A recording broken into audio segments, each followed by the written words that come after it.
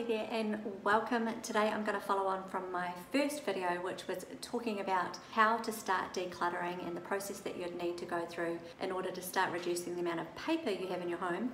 And today I want to talk about the ways that you can start storing and collecting your paper in a way that feels a little bit more organized and create your own process so that you don't have to have piles of paper cluttering up your spaces all the time. So this might look like a lot but this is actually 15 years worth of memories and like to think that this is organized chaos, but it's not. This is just one person's place where she stores all her keepsakes. So I'm going to show you today how she does this and how I've set her up to do so, and all the other categories that I showed you to create, which was in the previous video. Keepsakes, legal documents, general information, projects that you're working on, and current events. So I'm going to show you what to do so that you can start having a streamlined process for all the paper that comes into your home from now on. So if you haven't watched the first video on how to start your paper cluttering journey and how to find your different categories, it would be really helpful if you went back and watched that. I'm going to put a link below or maybe in a card above. Probably would be helpful if you watched it before you moved on to this next step in the process.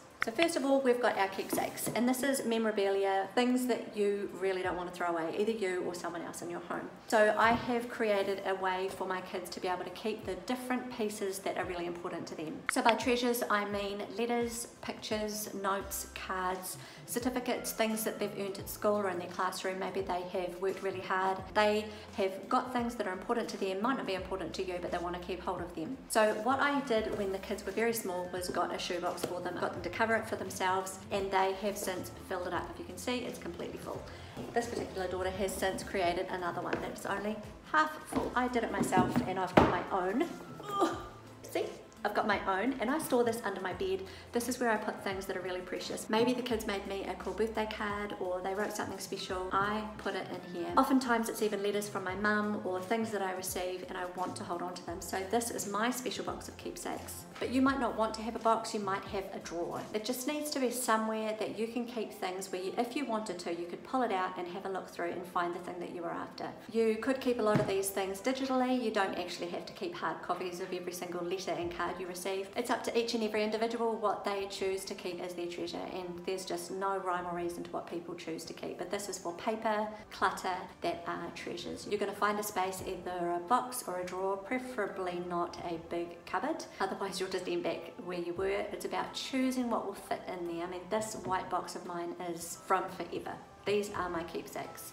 So I'm pretty particular about what I put in there. One thing I would like to note is that children do become particular about what stays in here. At first they might keep everything. After a while when they look back and they're starting to want to fit things in there that don't fit, they realise that that Christmas card from Sam, who was in their first year at school, that they can't even remember who it was, isn't that important after all. And so they start to declutter themselves and get rid of things that aren't essential to make room for the things that they really want to put in there. The second thing that I would consider to be treasures are photos. I think in this day and age, photos should be digitized. And that's simply because you can lose a copy, and if it's on a digital format, then you won't lose it. Maybe it's just because I've become familiar with making sure that my photos are scanned and available to me online. But if a photo is damaged or destroyed or lost, there's no way of replicating it. So if you get into the habit of digitizing them straight away, you can put the photo into a keepsake box, knowing that if it did get lost, you would still have one on file. I've done a full video recently on how to keep things digitized and stored online. You can use Google Drive or iCloud, grab a hard drive and make sure that they are holding on to all your photos and videos and creating albums and yearbooks. Keeping those things consolidated isn't always easy to set up,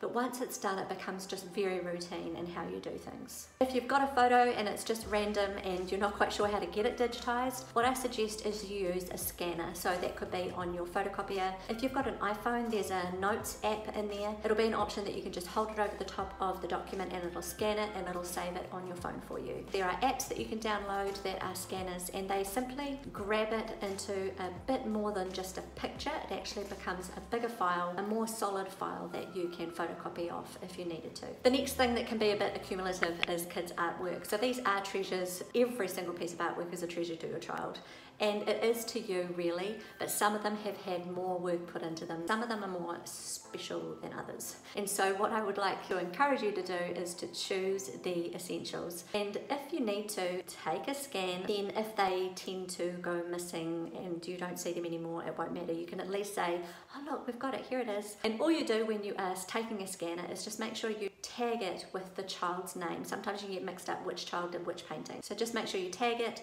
store it on a digital format, and then you are free to move on with your life. Marie Kondo does encourage people that if you have a treasure, put it up where you can see it all the time. So that is also an option with kids' artwork. Have a wall where you can display their current work, and then as the next work comes in, you can put up that work, and the rest of it can either be binned or put on the scanner or filed away. Sometimes when they're first starting preschool and school in those first few years, it's really special to keep the artwork separated into maybe a clear file and just record when they did it. Maybe they were two and then the next lot when they're three. And it is really something special that they can look back on and see what they've created and you can see the development and the way that they got better and better and better. Again, this is a place where you store the special stuff that you know that they've worked really hard on and that they're proud of. So in finishing with keepsakes and treasures, I really suggest that you have a keepsake box that's kept under the bed or up in the top of the wardrobe.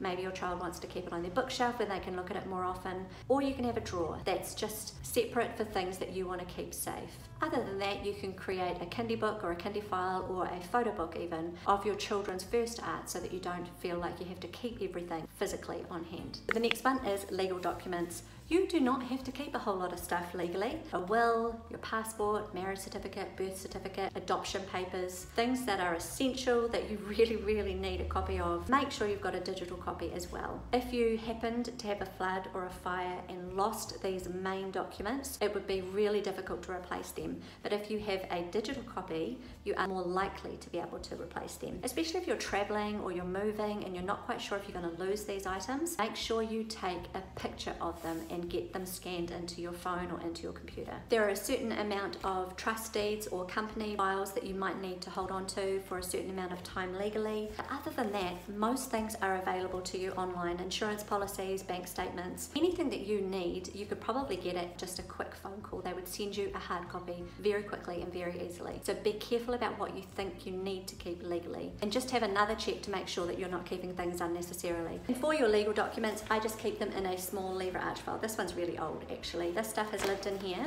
these small amount of documents for at least 10 years and there's no reason to replace it. So I just keep this in a very safe space in the house so I can grab it in an emergency. Wow, the rain is really heavy. Why is the weather always interrupting my videos? So your next one is general information. These are documents that are of real interest to you. You have taken a recipe from a friend, you have pulled out an article from a paper that you really want to remember the information about. It's a brochure that was given to you about something you're interested in investigating later on. So what I suggest you do with these is digitize them if at all possible. So the first one is recipes. For example, you could have a digital app. If your friend's reciting a recipe to you, just put it in your phone straight away.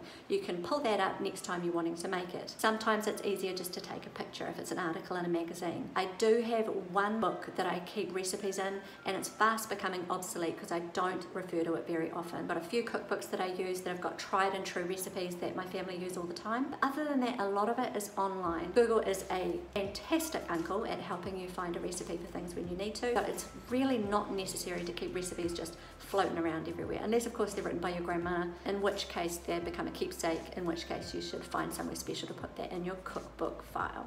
The next one is newsletters, brochures, booklets and reports. The latest property values in your area or the local riding club has started up a new thing and here's all the information. So you're wanting to keep this. This is exactly the type of thing that should be kept here. If it's current and if these are things that you know you're needing to look into immediately, then do put them to the side and you will review this once a month. Every now and again you go through and think, am I still interested in that? But other than that, a lot of things can go digital. I take a scan of things that I know I'm going to be interested in at some point. Often I just flick it to myself in an email, just keep it for reference. But there's a lot of stuff that doesn't need to be there and you just need to be careful about what you're holding on to. Because if you're never looking at it and month after month it's just being put off to the next month, it's probably not going to get looked at. Another thing to keep in mind when you're subscribed to things is if you haven't been looking at them and the mail is still coming every quarter, try to unsubscribe. It really can be your friend. Same goes in the email inbox actually. Ask them if they have an online version, if it's only a manual magazine magazine that you've been sent and you only look at it sometimes, because you can easily delete an email. It's a lot more difficult to get rid of a magazine sometimes. Unsubscribe is your friend.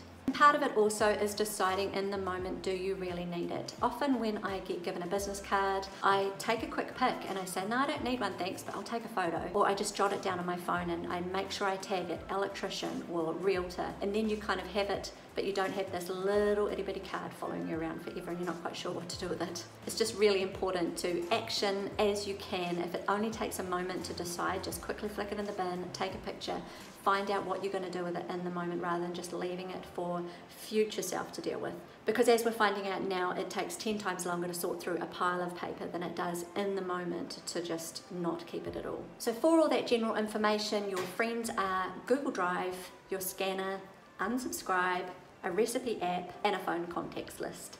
So make sure you're tagging things, make sure you're keeping good files, and then you should be fine with the clutter in this area. One of the other categories that you would have had is work-related projects. So here was my file that I always have sitting in the kitchen and when I sorted through it, I found that there was a number of things that my son had used for a project he was doing. I've put it to the side, I've said to him that they're there and I'll make sure that he grabs them, but I can ask him again. They can just get biffed if he's not really going to use them. He said he wants to keep them, but they're still sitting there. The other one is my daughter's accounting program that she was working on. When you're dealing with work projects or hobbies, it's not always something that goes on forever, it's just for a short amount of time. So if you've got children that are doing exams, I keep talking about that because that's what's happening for us at the moment. If you've got someone in your home that has a significant hobby, try and find a place for them to keep their things. So it's not something that's going to overwhelm you. It's their thing, they can keep it there, it's contained. If it's a project and it's really important, you're just going to have to make room for it in the moment. The clutter is going to be there and it's really difficult not to have clutter around when you're doing a big assignment or a research project or some artwork that's got to have a lot of components to it it's very difficult for them to keep that on the down low. You're going to have to make some room. But after that, declutter. Be very careful not to throw away other people's things. And someone throws away your stuff, it's a real invasion of your privacy. So make sure that you're asking them they still want it? Is it still relevant to them? Now, the last one I want to talk about is current events. These are things that are happening right now. And once again, you can make things simple for yourself by digitizing it. So yes, in this particular file that sits in my kitchen, I keep anything that's relevant to right now. If it's tickets to an event that we're going to, a newsletter for a trip, anything that we were gonna all have to refer to needs to go in here. But I do take all those details down and I put it in my phone, I set alarms. So this is exactly what this file is for it's for current events. But there are ways and means of keeping it decluttered, and that means every month or so you're going to have to go through it and make sure that there's things not still in there that have long gone or since passed. So in here we would keep school information, invitations, bills that need to be paid if they need some assessment. But once again, I store this information on my phone in whichever app is relevant. If it's a bill that needs to be paid, it goes in our finance document. There's all sorts of things that you can get notices for. Put it in here. And also KonMari suggests that you keep things upright. It's just something that I've adopted. I haven't adopted everything that KonMari suggests, but this has been really helpful. And it's simply because when things are piled, it's very hard to see what's in there. But when it's to the the side, you can see quite quickly what it is. So I have found that's a really suitable way of keeping things, including in my office. I've just found it to be a magnificent tip. One more thing I would like to suggest for receipts, things that come in that you know have been paid, that is another place where you can scan things and store them in your phone. I have often taken a snapshot of a receipt, maybe if we've brought an appliance or a bigger item that may be returned if it breaks, and I keep that stored on my phone so I don't have to hold on to the actual physical receipt the scanner will scan the date, the time, the cost. It'll even scan the barcode and it can read that quite easily. You can print it off from the scanned copy if you needed to take the object back. So that's another option so you don't have to get piled up with receipts. It might be a way of doing your taxes a bit better if you are wanting to keep receipts for end of year. Just make sure you keep the receipt file tagged or put in there the corresponding subject matter. Maybe it's work related, maybe it's home related. Just make sure that you've tagged it so you can find it quickly later. So I really hope that this has helped helped you. I hope that this has gotten you started on really being able to work out where all this paper can go and how you can not be in this predicament again with having piles and cupboards and shelves of paper that you don't quite know what to do with. It is quite difficult getting started when you're wanting to set things up, but if you've got any questions whatsoever, I would love to be able to help you. Please put them in the comments below. I'm hoping that you've listened to the first video, which was on how to get started. Decluttering first off and working out what's rubbish, working out what to throw away, and then finding your different categories so that you can work out how to process them later.